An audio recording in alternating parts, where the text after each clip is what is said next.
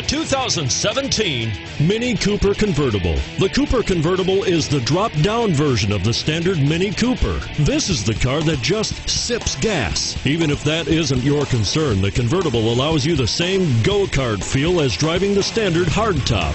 And it's priced below $35,000. This vehicle has less than 100 miles. Here are some of this vehicle's great options. Keyless entry, traction control, anti-lock braking system, Bluetooth wireless data link for hands-free phone, power steering, aluminum wheels, cruise control, floor mats, front wheel drive. Your new ride is just a phone call away.